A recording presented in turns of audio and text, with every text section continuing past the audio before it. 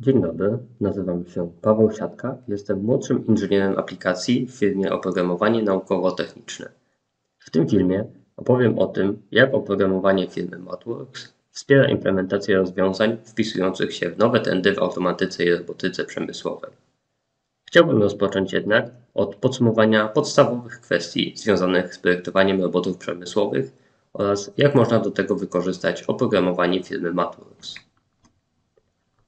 Mówiąc o robotach przemysłowych, przeważnie mamy na myśli manipulatory wyposażone w chwytaki, spawarki, dozowniki lub inne narzędzia.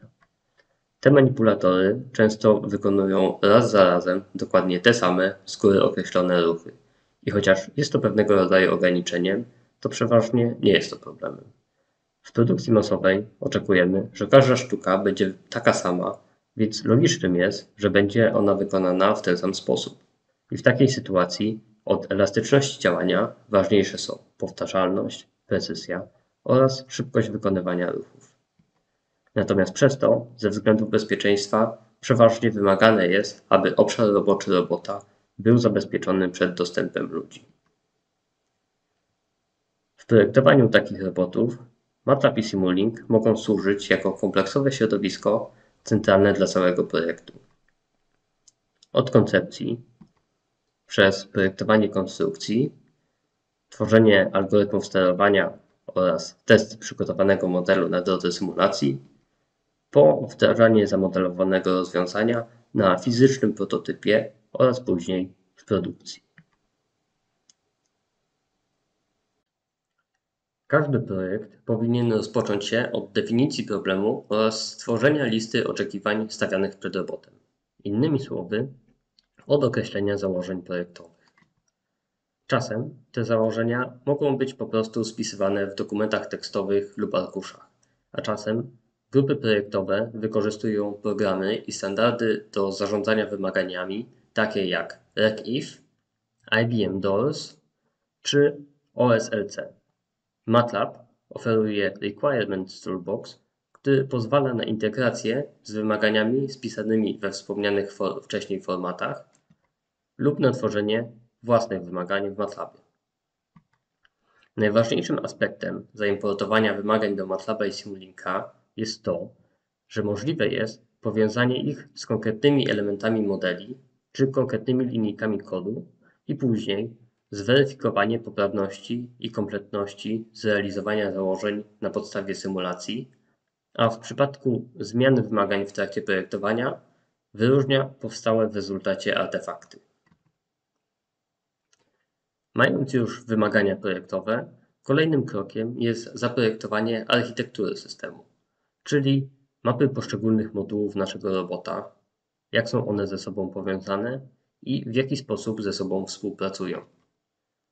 System Composer jest modułem Simulinka pozwalającym na tworzenie architektury systemu w postaci schematów blokowych przechowujących wskazane informacje o danej części systemu i powiązanych ze, ze wskazanymi założeniami projektowymi, a w dalszej części procesu projektowego z modelami implementującymi dany moduł.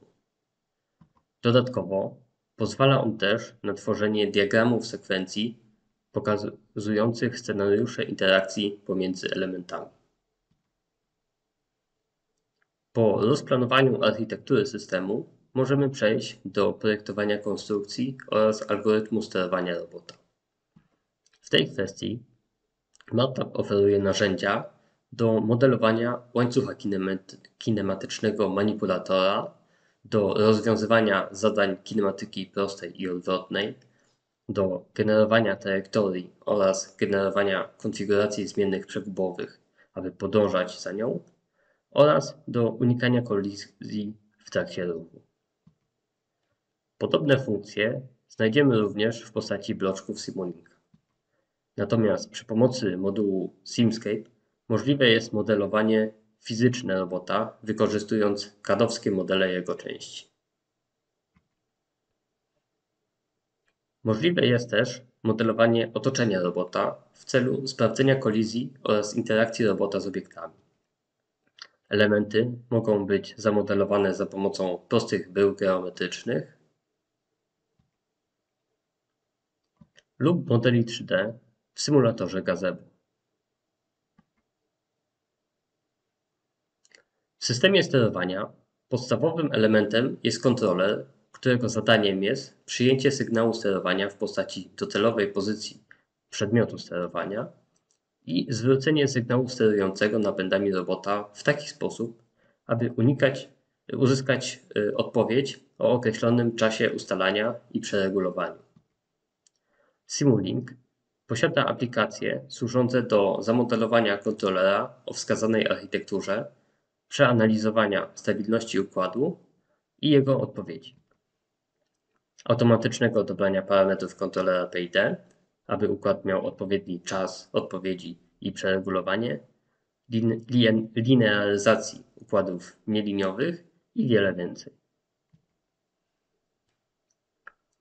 W perspektywie wysokopoziomowej autonomiczne sterowanie polega na planowaniu i egzekucji czynności w oparciu, o informacje z otoczenia, czyli tzw. Tak percepcję. Jednym z najważniejszych źródeł percepcji dla robotów są systemy wizyjne. W tej kwestii MATLAB oferuje funkcje służące m.in. do segmentacji, odnajdywania obiektów na obrazie w oparciu o cechy charakterystyczne,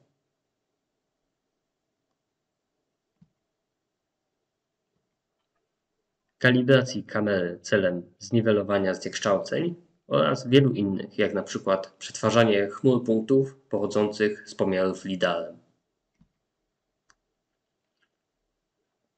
Następnie informacje o położeniu obiektów i przeszkód są wykorzystywane do zaplanowania trajektorii ruchu robota. W przypadku manipulatorów można posłużyć się planerem RRT lub techniką CHOMP opartą o optymalizacji z wykorzystaniem gradientu. Dla robotów mobilnych możemy wybrać z wariantów algorytmów RRT, A-star oraz probabilistycznego planu działania. Ponadto w dynamicznym środowisku, gdzie na zaplanowanej ścieżce mogą pojawić się przeszkody, istnieją algorytmy pozwalające na tymczasowe zboczenie z zaplanowanej trasy w celu ominięcia przeszkody. Po zaplanowaniu trajektorii robot musi jeszcze opracować komendy sterowania, które pozwolą mu podążać za nim. Generalnie mówiąc, Rozwiązaniem tego problemu jest wyznaczenie zmiennych przegubowych dla wskazanych punktów przejściowych na trajektorii, ale prawdziwym pytaniem jest w jaki sposób robot powinien przejść z jednego stanu w kolejny i jaki powinien być przebieg czasowy pozycji i prędkości jego przegubów. W MATLABie można zaplanować m.in. sterowanie minimalizujące zrywy, sterowanie o trapezoidalnym przebiegu prędkości lub sterowanie aproksymujące przebiegi położeń wielomianami trzeciego i piątego rzędu. Ponadto w Simulinku logikę sterowania można zamodelować z użyciem modułu StateFlow w postaci schematów blokowych, które działają na zasadzie maszyn scenowych. W trakcie projektowania w MATLABie i Simulinku inżynierowie na bieżąco wykonują symulacje w celu sprawdzenia poprawności implementacji danego elementu. Te symulacje mogą mieć różny poziom detali. Począwszy od samego łańcucha kinematycznego, przez modele wykorzystujące modele CAD i proste otoczenie, po złożone modele zawierające szczegółowe otoczenie oraz modele czujników generujących wirtualne pomiary. Ponadto możliwe jest wykonanie symulacji w fotorealistycznym środowisku wykorzystującym silnik graficzny Unreal Engine. W trakcie projektowania na bieżąco wykonywane są duże ilości symulacji weryfikujące wprowadzone zmiany, jednak zmierzając ku końcowi procesu projektowego, istotne jest, aby dokonać pełnej formalnej weryfikacji i walidacji projektu w oparciu o założenia projektowe. I tego właśnie możemy dokonać z wykorzystaniem toolboxów MATLAB Test oraz Simulink Test. MATLAB Test, poza sprawdzaniem zgodności implementacji z założeniami, oferuje również sprawdzenie pokrycia kodu testami oraz weryfikację, czy wygenerowany kod na platformę docelową, np. kod C lub C++, zwraca takie same rezultaty jak kod w MATLABie. Simulink Test pozwala na stworzenie sparametryzowanych scenariuszy testowych dla elementów podsystemów lub pełnych systemów na podstawie określonych kryteriów. Będąc już w końcowym etapie procesu projektowego, często wykonuje się też testy z wykorzystaniem fizycznego sprzętu. MATLAB i Simulink posiadają pakiety wsparcia pozwalające na połączenie się ze sprzętem ponad 100 różnych producentów. Przy czym w szczególności możliwe jest wykonanie symulacji czasu rzeczywistego hardware in the loop z wykorzystaniem produktów firmy Speedcode. Ostatecznie będziemy potrzebowali przejść z naszego modelu do docelowej platformy sprzętowej. Możemy tego dokonać poprzez automatyczną generację kodu C, C++, VHDL, Verilog, kodu zoptymalizowanego na procesory graficzne oraz kodu implementującego tworzenie i wykorzystanie węzłów ROS. Jak zatem Państwo widzicie, niemal cały proces projektowy może być zawarty wewnątrz środowiska MATLAB i Simulink. Teraz przejdźmy do omawiania obecnych trendów w robotyce przemysłowej. Pierwszym z nich jest przemysłowy internet rzeczy, Industrial IoT. I chociaż sama koncepcja wcale nie jest nowa, to rozwój i implementacja IIoT jest wciąż aktualnym tematem. Między innymi wdrożenie i upowszechnienie w ostatnich latach technologii 5G umożliwiło dostęp do większej objętości i prędkości przesyłania danych, co pozwala na zwiększenie skali i szerszą adopcję IIoT. IIoT polega przede wszystkim e, na gromadzeniu i analizie ogromnych ilości danych pomiarowych z czujników. A zatem pierwszym etapem w wykorzystaniu MATLABa i Simulinka jest pozyskanie tych danych pomiarowych. Do tego można wykorzystać, protokół OPC UA, Modbus oraz MQTT. Wspierane są interfejsy USB, PCI, PCI Express, PXI oraz PXI Express.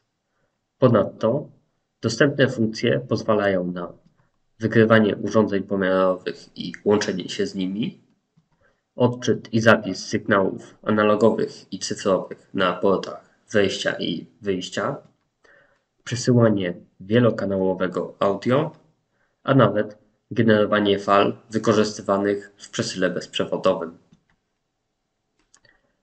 Następnie przesyłane dane są zapisywane w plikach lub bazach danych.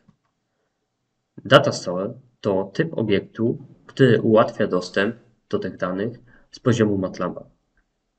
Datastore może wskazywać konkretny folder lub chmurowe nośniki danych na platformach Azure, Amazon S3 oraz Hadoop. Ilość zebranych danych może być naprawdę duża, przekraczająca pamięć komputera lub nawet klaster komputerów.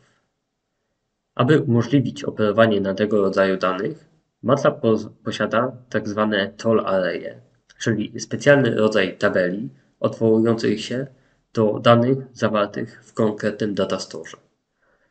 Gdy operujemy na tabelach, które mogą mieć miliony lub nawet miliardy wierszy, każda pojedyncza operacja może zająć bardzo długi czas do obliczenia.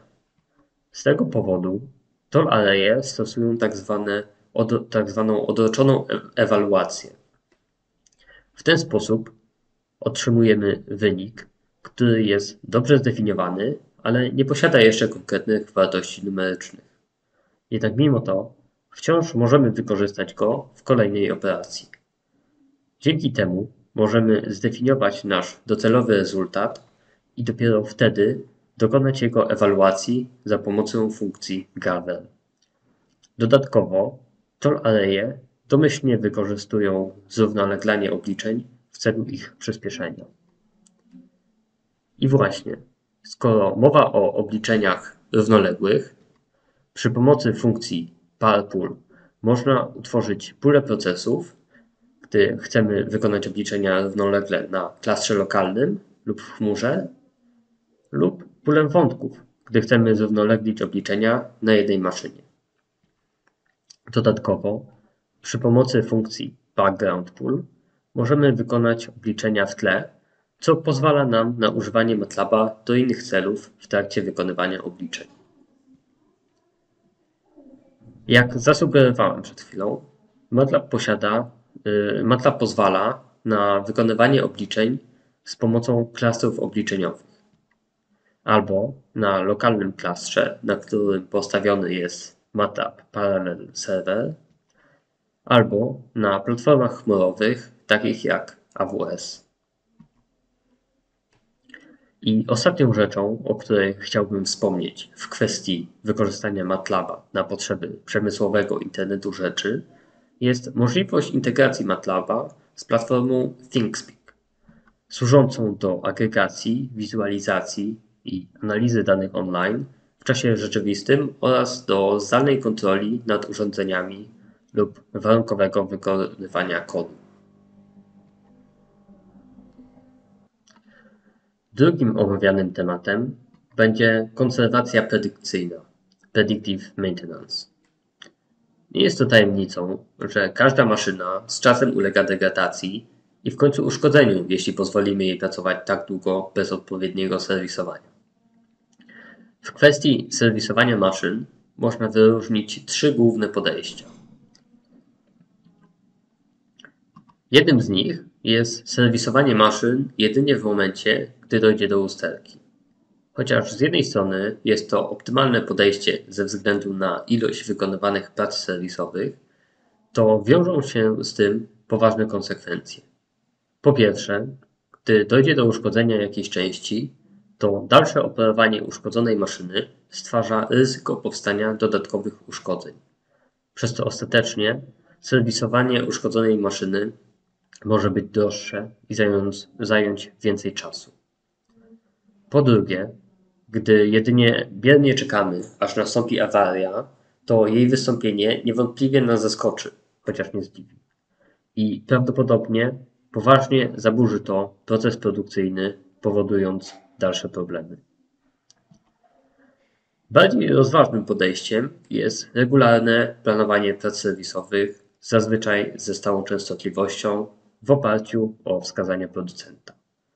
W takiej sytuacji maszynę jedynie serwisujemy zamiast jej naprawiać, a mając z wyprzedzeniem ustalony plan serwisowania, możemy adekwatnie dostosować nasz plan produkcyjny tak, aby wziąć pod uwagę to, że przez pewien czas maszyna będzie wyłączona z użytku.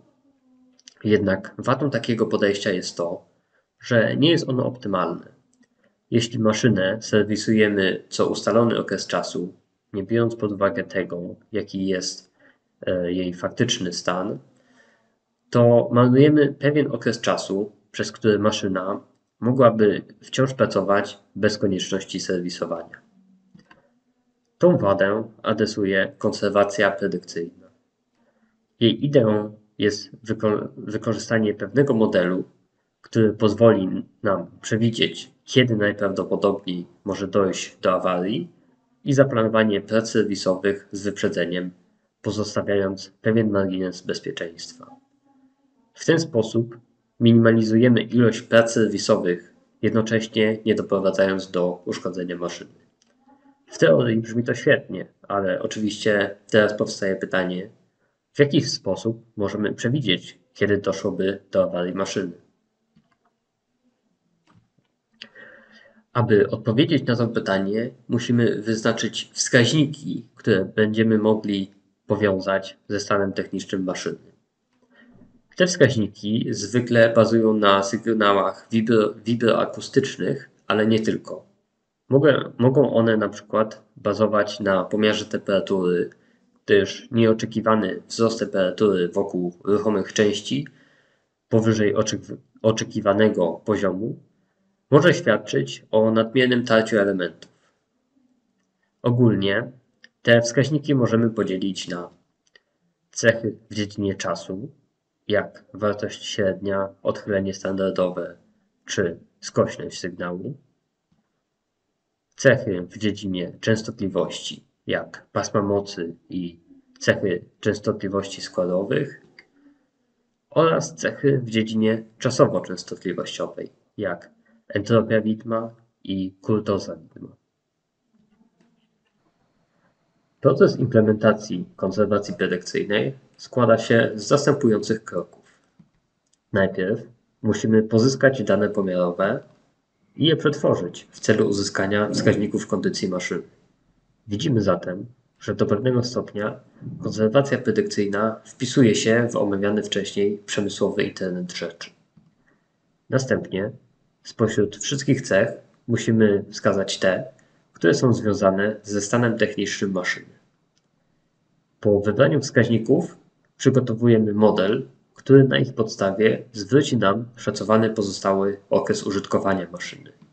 A ostatecznie integrujemy ten model z naszym systemem zarządzania produkcją. Model, który wykorzystamy do estymacji pozostałego okresu użytkowania, zależy w dużej mierze od tego, jakiego typu danymi dysponujemy.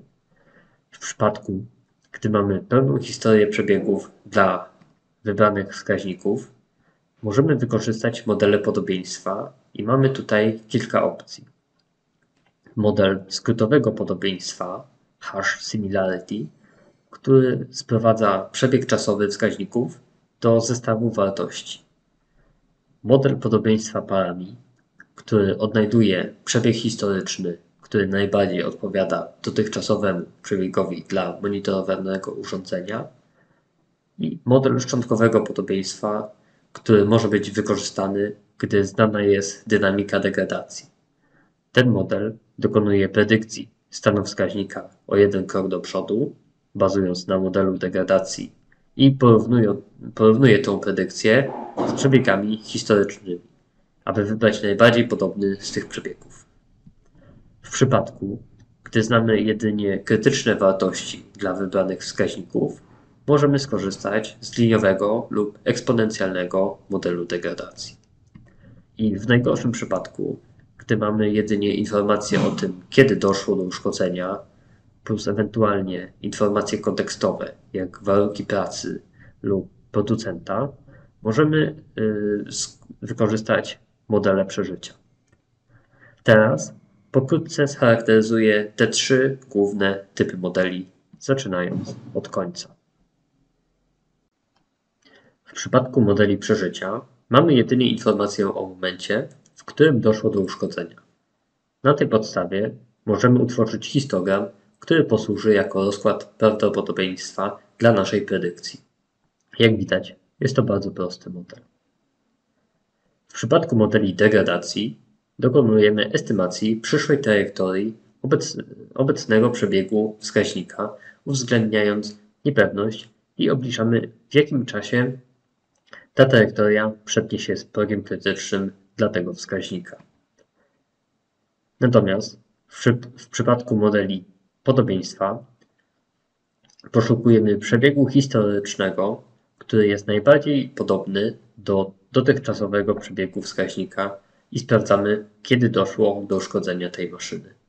Oczywiście, wszystkie wspomniane modele oraz narzędzia pozwalające na przetwarzanie sygnałów możemy znaleźć w MATLABie.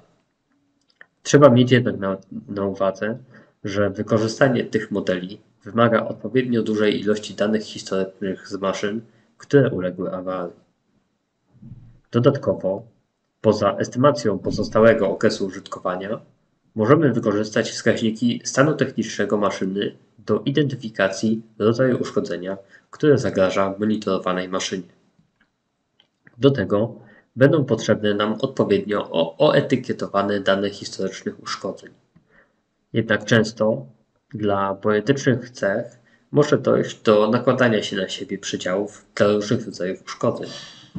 Natomiast jeśli weźmiemy pod uwagę więcej czynników, możemy zauważyć, że pary uszkodzeń nie zawsze nakładają się na siebie. A zatem, jeśli zestawimy ze sobą różne cechy, możemy uzyskać rozkład, w którym punkty odpowiadające konkretnym typom uszkodzeń tworzą osobne klasy.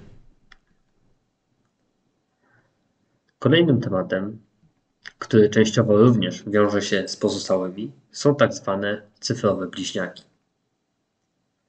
Cyfrowe bliźniaki to wirtualne modele maszyny, z tym, że każdy cyfrowy bliźniak jest modelem jednej konkretnej fizycznej maszyny. Dla każdego modelu maszyny, w sensie serii produkcyjnej, możemy wyjść od modelu bazowego, np. tego, który powstał w procesie projektowania, i dla każdej sztuki utworzyć kopię tego modelu. Wraz z użytkowaniem maszyny zbieramy dane pomiarowe dotyczące jej działania i na ich podstawie aktualizujemy każdego cyfrowego bliźniaka tak, aby dokładniej odzwierciedlał stan swojego fizycznego bliźniaka.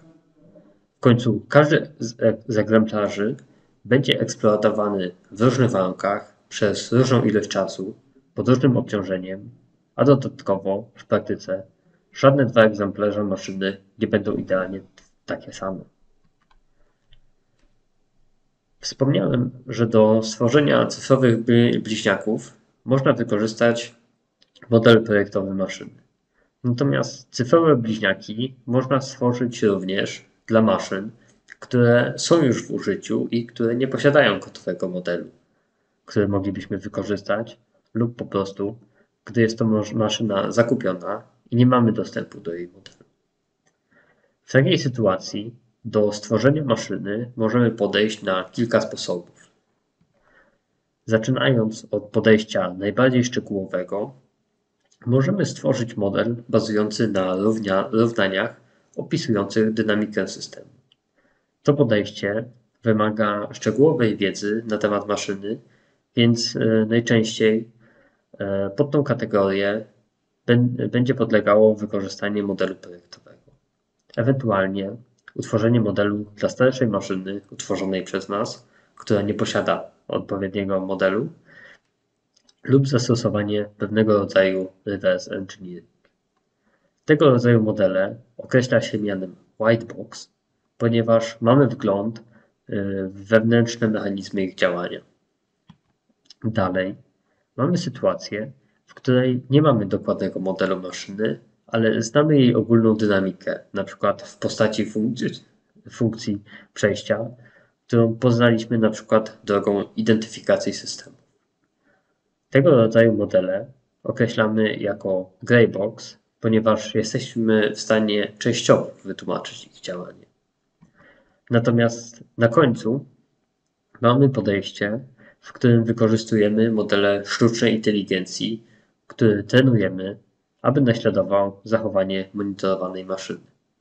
To podejście nie wymaga od nas żadnej wiedzy dotyczącej szczegółów e, mm, działania maszyny, jedynie wystarczającą ilość danych. E, z drugiej strony jednak nie jesteśmy w stanie uzyskać informacji dotyczącej wewnętrznych mechanizmów działania maszyny, przez co tego rodzaju modele określane są mianej, mianem czarnej skrzynki black box. Po utworzeniu modelu musimy utworzyć jego instancje dla poszczególnych maszyn i zintegrować je z systemem zarządzania flotą.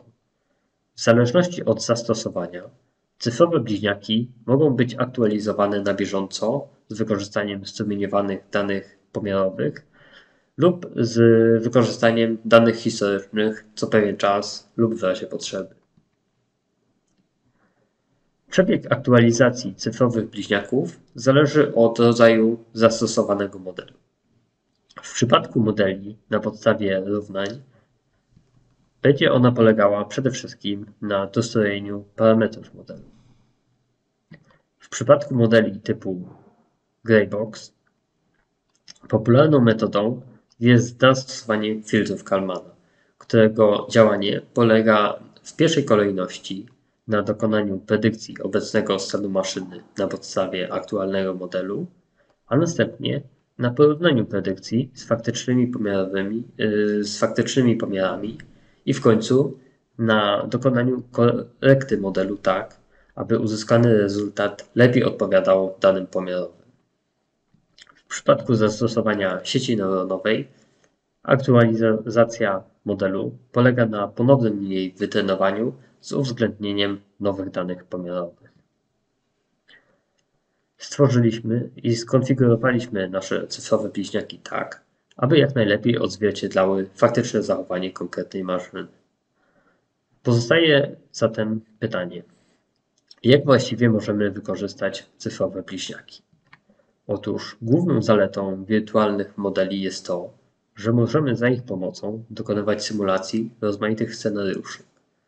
I po pierwsze, możemy w stosunkowo krótkim czasie przesymulować długi okres czasu dalszej pracy danej maszyny, a po drugie, możemy sprawdzić, jak maszyna zachowa się w ekstremalnych warunkach lub dokonać symulacji wszelkiego typu uszkodzeń, czego raczej nie chcielibyśmy robić na fizycznym obiekcie. Dla przykładu, możemy wykonać symulację e, pracy pomp dla zakresu wartości pewnych parametrów i przeanalizować, jakie wartości parametrów są niebezpieczne, które z pomp należałoby poddać akcji serwisowej lub potencjalne słabe punkty w konstrukcji pomp. Ostatecznie wyniki symulacji powinniśmy zarchiwizować. Dobrze jest też przygotować dashboardy, które ułatwią inżynierom i operatorom maszyn wgląd w informacje uzyskane dzięki symulacjom. Wiedząc już, czym są cyfrowe bliźniaki i w jaki sposób je wdrażać, oto ich najbardziej powszechne zastosowania. Jak wspomniałem, cyfrowe bliźniaki częściowo wiążą się z poprzednimi omawianymi trendami. Poza faktem, że do aktualizacji cyfrowych bliźniaków najczęściej wykorzystywane są strumieniowane dane pomiarowe z floty maszyn, co wiąże się z IIoT, cyfrowe bliźniaki mogą również być wykorzystywane w, w konserwacji predykcyjnej. Mając modele konkretnych maszyn, możemy dokonać symulacji ich przyszłej pracy i sprawdzić, po jakim czasie dojdzie do ich awarii. Oprócz tego, w niektórych przypadkach możliwe jest przeanalizowanie pracy maszyny i wykrycie różnych aspektów, w których ich praca nie jest optymalna. Dzięki symulacjom możemy sprawdzić, czy zmiana parametrów lub algorytmu sterowania pozwoli na zwiększenie efektywności działania maszyny i w takich sytuacjach możemy zoptymalizować pracę użytkowanej już maszyny nawet poprzez aktualizację oprogramowania. I ostatecznie, analizując pracę maszyn, zwłaszcza w porównaniu z naszymi oczekiwaniami na podstawie projektu, inżynierowie mogą wyciągnąć wnioski, w jaki sposób udoskonalić projekt przyszłych modeli. Ostatnim omawianym tematem jest temat, który w ostatnim czasie jest bardzo popularny i to nie tylko w robotyce przemysłowej, a mianowicie wykorzystanie sztucznej inteligencji. Sztuczna inteligencja jest technologią, która potencjalnie może być wykorzystana jako rozwiązanie albo wsparcie w wielu aspektach robotyki przemysłowej, z czego wymienię jedynie kilka najbardziej istotnych. Po pierwsze, w automatyce i robotyce sztuczna inteligencja jest najczęściej wykorzystywana w percepcji, w systemach wizyjnych. Dalej, sztuczna inteligencja może znaleźć swoje zastosowanie w sterowaniu, głównie w postaci uczenia ze wzmocnieniem, reinforcement learning, lub w postaci uczenia głębokiego dla nawigacji. W procesie projektowania wykorzystana może być również technika Reduced Order Modeling, która polega na zastąpieniu skomplikowanego i złożonego obliczeniowo układu przez model uczenia głębokiego, który przybliża ten układ przy znacznej redukcji czasu potrzebnego do wykorzystania go w symulacji. Sztuczna inteligencja Może także być wykorzystywana we wspomnianych wcześniej kwestiach, czyli do modelowania na potrzeby konserwacji predykcyjnej, zwłaszcza w modelach podobieństwa, oraz jako jeden ze sposobów modelowania cyfrowych bliźniaków. Na koniec wspomnę o nowym trendzie w sztucznej inteligencji, którym jest interpretowalna i wytłumaczalna sztuczna inteligencja. Niewątpliwie najbardziej powszechnym zastosowaniem sztucznej inteligencji w robotyce są systemy wizyjne. Dzięki toolboxom Deep Learning Toolbox oraz Computer Vision Toolbox można skorzystać z gotowych sieci neuronowych lub wytrenować własne sieci do segmentacji obrazów oraz do detekcji obiektów na obrazach. Jednak percepcja nie, do, nie dotyczy jedynie obrazów 2D.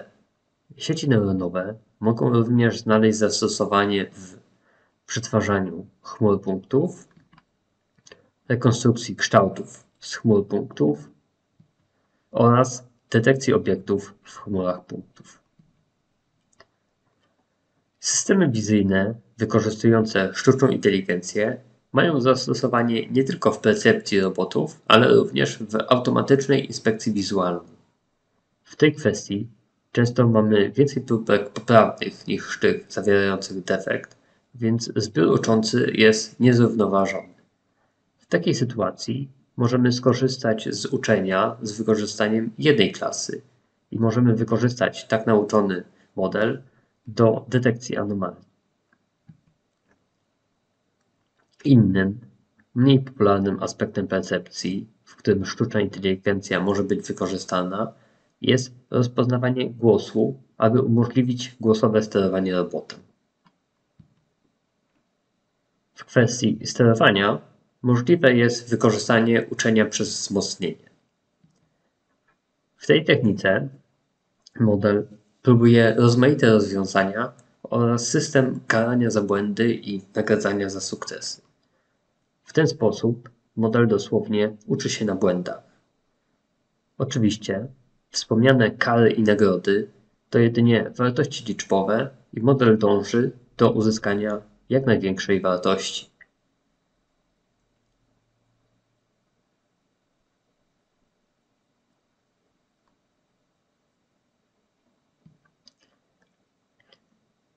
Jak już powiedziałem wcześniej, Reduced Order Modeling polega na zastąpieniu skomplikowanego i złożonego obliczeniowo układu przez model uczenia głębokiego, który przybliża ten układ przy znacznej redukcji czasu potrzebnego do wykorzystania go w symulacji. A jak można zauważyć na pokazanym wykresie, pomimo zastosowania przybliżenia, możliwe jest uzyskanie bardzo mocno zbliżonego rezultatu. To była jedynie garstka przykładów. Natomiast stosując sztuczną inteligencję, trzeba zmierzyć się z jedną jej niedoskonałością, a mianowicie modele sztucznej inteligencji to przeważnie czarne skrzynki. A zatem, chociaż testy mogą wykazać bardzo wysoką skuteczność naszego modelu, brakuje nam wglądu w to, na jakiej podstawie model dokonuje decyzji. Z tego powodu istnieją ograniczenia co do stosowania sztucznej inteligencji we wrażliwych dziedzinach, takich jak na przykład bezpieczeństwo, na przykład w, w autonomicznych samochodach, medycyna czy finanse. Rozwiązaniem tego problemu ma być tak zwana wytłumaczalna sztuczna inteligencja, explainable AI. Wśród tych rozwiązań możemy wyróżnić ich dwa typy – metody specyficzne dla modelu, jak na przykład wytłumaczalne sieci neuronowe, w których jesteśmy w stanie określić, jakim decyzjom odpowiadają węzły, i metody niezależne od modelu, które z kolei mówią nam więcej o tym, jak parametry wejściowe wpływają na dane wyjściowe z modelu sztucznej inteligencji. I ponownie, tak jak obrazy są jednym z głównych zastosowań sztucznej inteligencji, Tak są one też jedną z pierwszych dziedzin zastosowania wytłumaczalnej sztucznej inteligencji. Na przedstawionych obrazach widzimy mapy ciepła, które wskazują, które piksele miały największy wpływ na to, że model uczenia głębokiego zaklasyfikował obraz do tej, a nie innej kategorii. Dodatkowo MATLAB oferuje funkcje pozwalające określić, jak wartości danych predyktorów wpływają na prawdopodobieństwa, prawdopodobieństwo zwrócenia danej klasyfikacji. Jest to typ tłumaczenia w skali globalnej. Oraz do określenia, jaki wpływ każdy z predyktorów miał na to, że w konkretnym przypadku model zwrócił tą klasyfikację, którą zwrócił. I to jest typ tłumaczenia w skali lokalnej. A zatem to były wybrane trendy w robotyce i automatyce przemysłowej. Przemysłowy Internet Rzeczy, konserwacja predykcyjna, cyfrowe bliźniaki oraz wykorzystanie sztucznej inteligencji. MATLAB i Simulink oferują rozwiązania w każdym z tych tematów. Jeśli zaciekawiły Państwa omawiane zagadnienia, zachęcam do śledzenia strony internetowej oraz mediów społecznościowych firmy Oprogramowanie Naukowo-Techniczne, gdzie na bieżąco umieszczane są informacje o rozwiązaniach firmy MathWorks, a także o nowościach ze świata inżynierii i nauki. Zachęcam Państwa również do skorzystania z oferowanych przez nas szkoleń z wykorzystania MATLABa i Simulinka. Oferujemy ponad 50 szkoleń z 13, obszar, z 13 obszarów wiedzy dla osób o różnym poziomie zaawansowania. Podczas szkoleń uczestnicy mogą od razu zastosować nową wiedzę w praktyce. My, jako oprogramowanie naukowo-techniczne, jesteśmy jedynym oficjalnym dystrybutorem produktów MathWorks w Polsce i prowadzimy szkolenia zgodnie z materiałami przygotowanymi przez firmę MathWorks.